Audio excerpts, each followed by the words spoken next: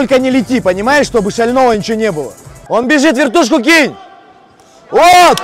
С ноги с правой можно дать. Вот! Сильно хочешь его засадить, поспокойней, тогда получится. Давай спросим. Парень, можно тебя? Хотел просто вопрос задать. Ты не знаешь, случайно Альберта Туменова? Всем привет, особенно тем, кто скучал. Это Александр Лютиков, и я тут наснимал видео на турнире промоушена Александра Шлеменко. О том, как Андрей Корешков впервые в жизни провел профессиональный бой в родном городе. Как бразильца наказали за удар во время приветствия. И как Александр Шлеменко останавливал прохожих на улицах Омска.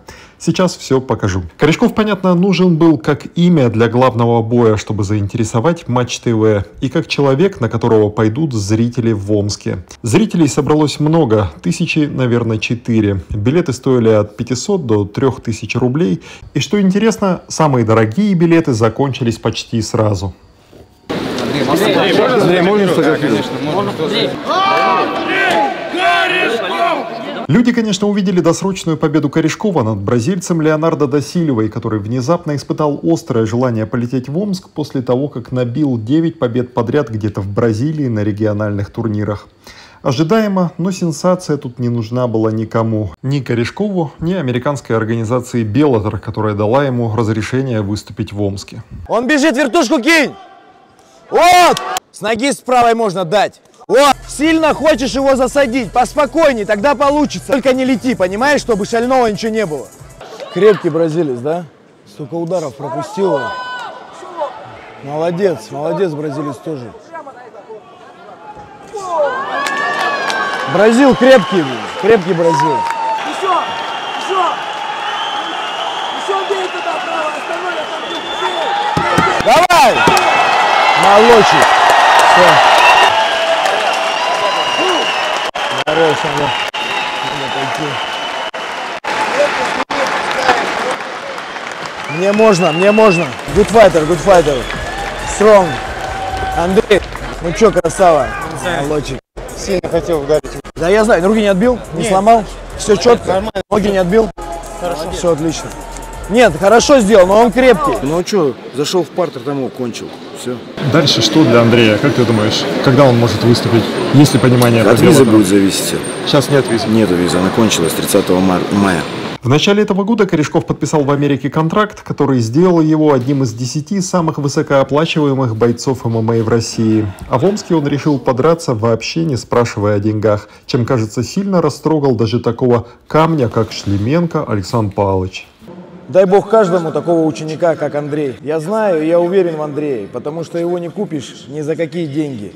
Когда я подошел к нему и сказал, Андрей, нужно выступить на SFC 4. Это мне надо, это надо нашему городу, это надо нашим пацанам.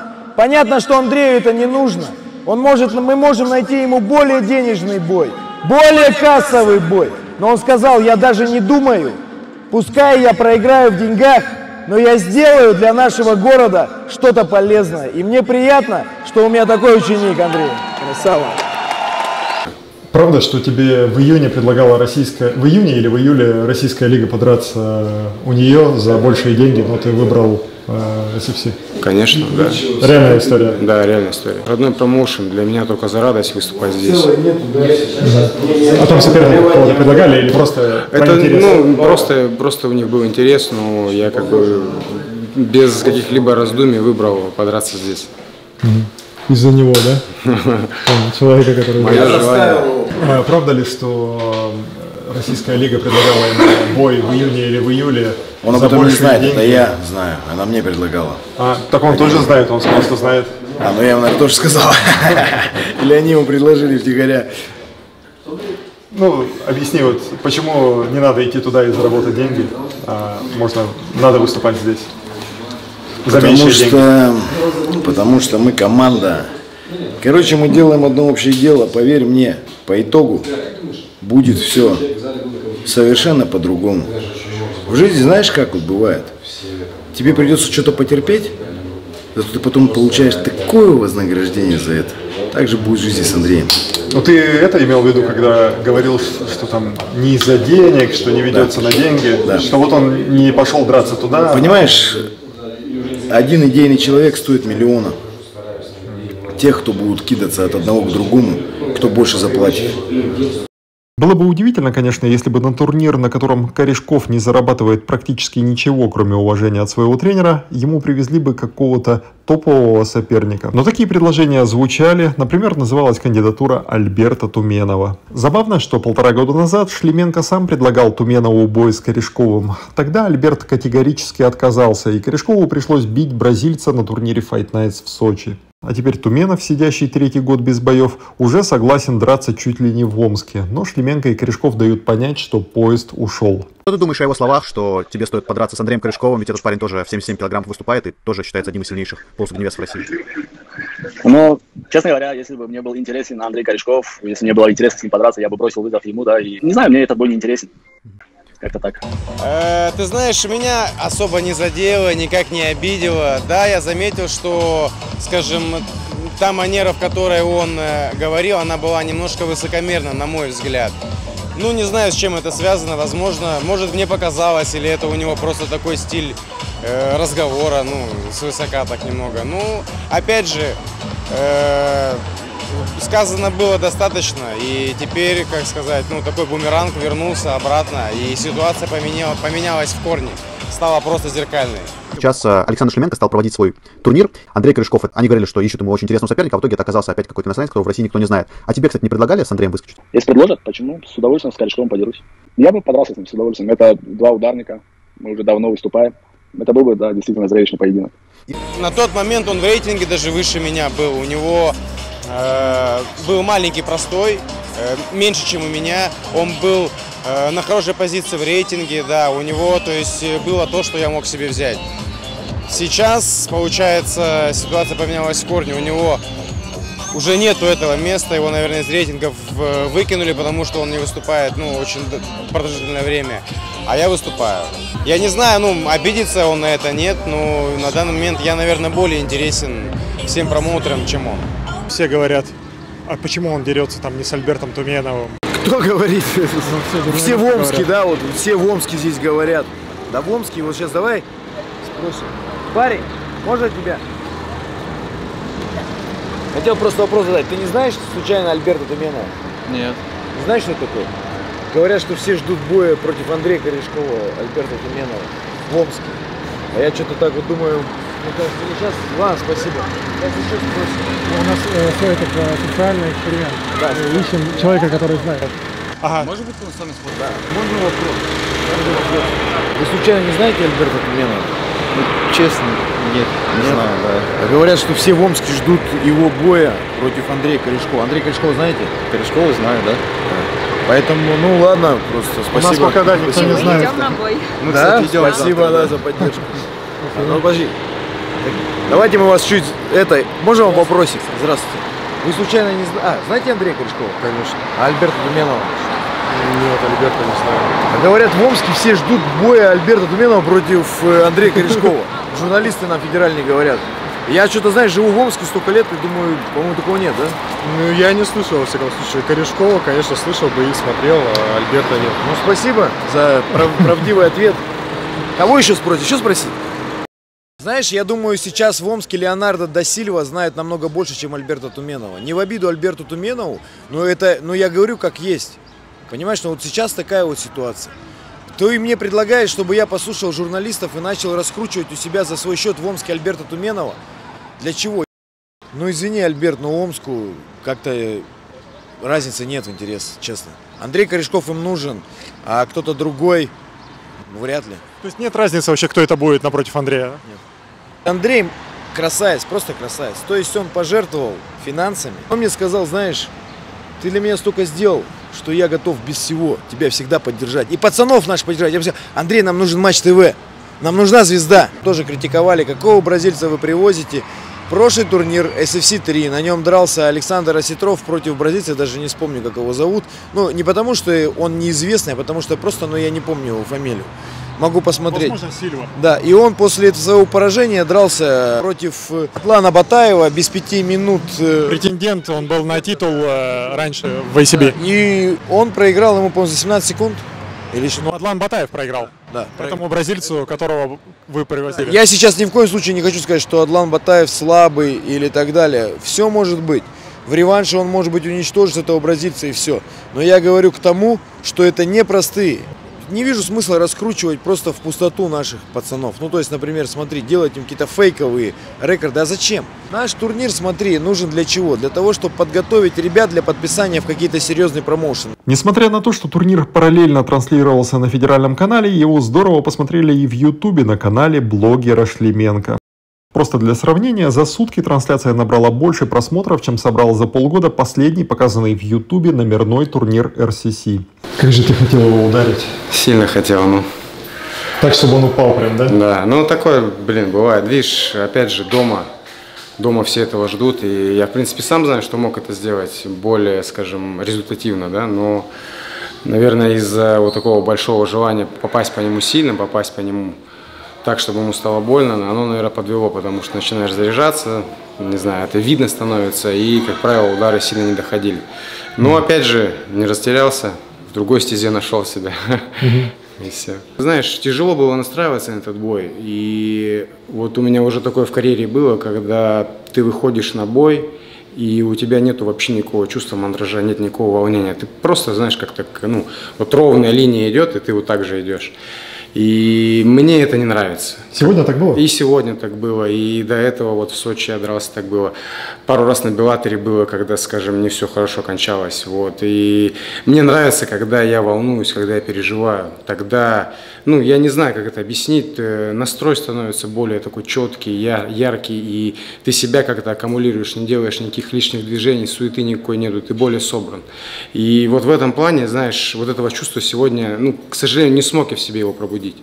А опять же, вроде я подгорал, потому что дома дерусь и все ждут, но в то же время я прекрасно понимаю, что я обязан его там разорвать или еще что сделать. И, блин, ну никакого волнения не было вообще. Mm. И, ну, вот это мне не нравится. Короче, тебе в Америке проще драться, да? И честно, честно скажу, да, в Америке намного проще драться. И нету этого давления. Наоборот, знаешь, когда против тебя болеют, мне это даже больше нравится. Э, меньше часа до боя оставалось, ты еще в телефоне там что-то кому-то отвечал. А кто, э, кто что тебе пишет? В телефоне я не отвечал, я просто другу звонил, я баннер дома забыл. Да, и я ему дал ключи, он съездил, забрал, и я просто контролировал, как там, как там процесс идет. Вот этот баннер, с которым ты выходишь на бой? Да, да, да. Блин, собирался и что-то подзабыл. Вроде все взял, знаешь, проверял, проверял, а он из головы просто вылетел вот эта домашняя атмосфера, она в каком-то плане немножко меня расслабила. Ну, в такой, знаешь, зоне комфорта. И она немножко расслабляет. Но, тем не менее, как бы, ну, я нисколько не хочу там оправдываться. Да, бой как бой, но можно было лучше подраться, я понимаю. А кто же те, кого подсвечивал Корешков? Те, кого он протащил в трансляцию на всю Россию? Ну, буквально пара примеров. Дагестанец Руслан Чебанов, тренирующийся в Омске у Шлеменко, выиграл свой второй бой в ММА. Новосибирец Андрей Пуляев по прозвищу, конечно же, Пуля, решил вопрос за 20 секунд. А вот омский тяжеловес Александр Подмарев внезапно проиграл раздельным решением судей и очень расстроил своего тренера. У тебя один ученик проиграл решением судей, да? Удивился, что судьи на твоем турнире могут туда отдать? Да нет, конечно. Ну, что, сам виноват, надо драться, понимаешь? Потому что стоял. Вот и, ну что, нужно не стоять. Мы не привозим трупов которые будут падать. Понимаешь, мы их не привозим. Наша задача, чтобы у нас были нормальные, жесткие пацаны. Ну, проиграл, вернись, отыграйся, стань сильнее, не тупи. Я сам проигрывал, что? И, наконец, Александр Осетров, когда-то доравшийся за титул М1, быстро наказал бразильца за внезапный удар во время приветствия. А он тебя что, ударил вместо приветствия, да? Получается так. Да? Он за это поплатился. Шоу расслаблен, не напряжен еще, только начинал включаться бой, протягиваю руку и сразу на рефлексии, то есть тайская коробочка, э, подставку сыграл и ответ сразу дал. Что дальше? Где будешь драться? Да мне без разницы. Как бы Александр Павлович занимается моей карьерой, так что поговорим с ним, он объяснит мне, как будем дальше действовать. Из минусов бои проходили на не самой удобной, довольно душной, но по сути единственной большой площадке в Омске. В футбольном манеже «Красная звезда», который известен тем, что там играет команда второй лиги и что там недавно не смогла сыграть группа Би-2. Попробуйте, кстати, на этом видео разглядеть баннер, из-за которого так разнервничались музыканты. Он тут есть, но его почему-то не видно. Вероятно, со светом в SFC работают чуть более умело, чем в группе Би-2. Свой следующий турнир Шлеменко рассчитывает провести в конце сентября на новой 12-тысячной арене, которую сейчас достраивают в Омске. Шлеменко не исключает, что сам подерется на этом турнире. Бразильцы, готовьтесь. Меня зовут Александр Лютиков. Подписывайтесь на мой канал в Ютубе. В июле он будет разморожен. А также на мой канал в Телеграме. Там мы обсуждаем сегодняшнее происшествие на турнире UFC. Андрей и моя цель воспитывать идейных пацанов, таких же, как и я. Понимаешь? И я очень счастлив, что у меня есть такой пацан, который проверился. Проверился вот этой простой идеей. Я понимаю, сейчас тут умники там налетят, которые сами живут, готовы как проститутки бегать от одного к другому, где крошки с барского стола падают. Но мы не такие, понимаешь? Мы суровые, простые парни, как сказал Слава Василевский, угрюмые, да, или как он там сказал. Ну, не хихи-ха-ха. А ты сейчас улыбнись, что-то у тебя с улыбкой стало, да? Ты, у тебя сейчас такая улыбка, что тебе надо как раз больше улыбаться. Водичка SFC. Можешь улыбнуться? Да, На камеру. Не-не-не, да. Ты про зуб, да. Ну, Да. да. откололи. А зуб. что случилось? Да вообще, блин, борол, я всегда без капы боролся. Причем не в голову, а в плечо как-то, в плечо. Бам, причем долбанул и отколол. Вообще не знаю, как это получилось. Не будешь ничего там вставлять до боя? Да, ну, причем тут боя, пойми, это невозможно сделать. То есть, ты будешь наращивать, он будет стачить, он будет откалываться. Его либо сточить, поставить коронку, какой смысл? Больше ползуба есть, пусть остается. Ты переживал, что там мало народу придет? Конечно, переживал. Ну, зал был полный, мне это понравилось. Зал не предназначен, понимаешь, не предназначен для проведения таких турниров. И мы ждем арену. Когда у нас появится арена, тогда все будет вообще круто. А арена будет вмещать 12. Следующий сентябрь, и там можешь подраться ты. 30-го. 30 сентября. Да, наверное. Это получается через месяц после магии. А ты успеешь восстановиться там все Не будем бежать вперед. Ну, до боя с магией не будете объявлять. Я раньше дрался три боя за вечер. Может, в стари- как в старину сделаем гран-при три боя за вечер. Завтра проснешься и даже не поймешь. Блин, я что, в Омске дрался? Да не, почему Дома у себя проснешься? Нормально. Нет, ну, как сказать, в Омске приятно. Э, Есть домашняя атмосфера, которая рас- расслабляет тебя, но, тем не менее, это тоже хороший опыт, дай бог, бу- буду чаще здесь выступать. И как-то надо будет себя, скажем, ну, больше мотивировать, больше э, тормошить, чтобы лучше включаться.